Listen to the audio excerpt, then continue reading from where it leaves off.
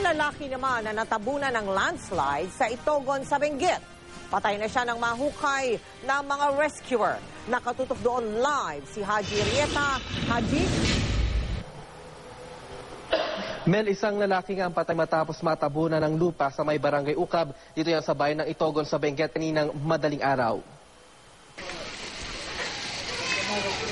Dalawang landslide sa barangay Ukab, Itogon, Benguet. Ang mga gumuguhong lupa at malalaking tipak ng bato bumalandra sa daanan.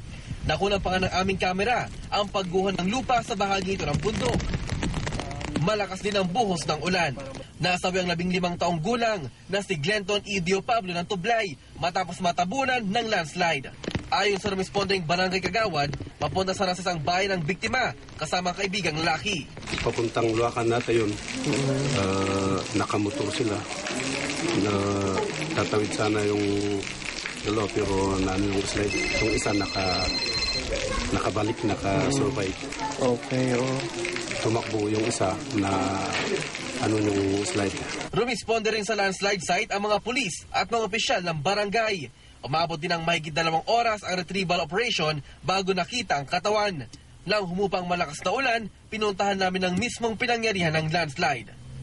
Tumambad sa amin ang malalaking tipak ng bato at lupa.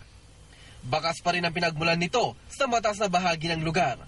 Ito na nga yung sitwasyon dito sa bahaging ito ng kalsada kung saan nga naganap ang landslide kaninang madaling araw kung saan isang buhay nga ang ah, nawala. At ang mapapansin nyo, putikan ang lugar na ito. Ta, napakahirap nga pumunta dito. Kaya naman pansamantala muna isinara ang lugar na ito sa mga motorista papunta sa kabilang ah, bayan nang sa gano'n ay hindi na maulit pa ang anumang insidente.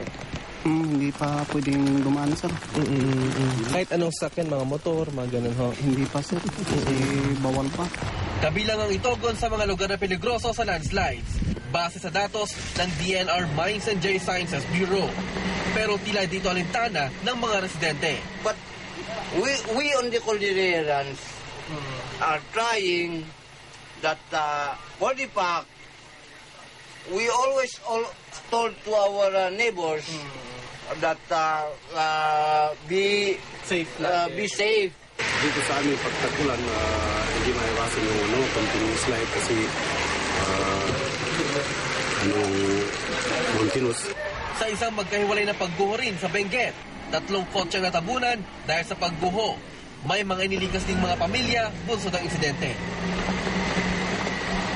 Mel, hanggang sa ngayon nga ay asarado pa rin no, ang ah, daanan kung saan naapektado itong landslide. Ah, Kasama din yan, Mel, ang ah, anim pa na main road kabilang na dyan ang ah, mga daanan ng ah, Kapangan, Bugyas, Abatan, Cannon Road, Poblasyon at ah, Tuwel Road. Bagaman na ongoing itong sinasagawa nilang ah, clearing operation ay ah, patigil-tigil naman ito dahil nga mayat maya itong ah, malakas na ulan, Mel.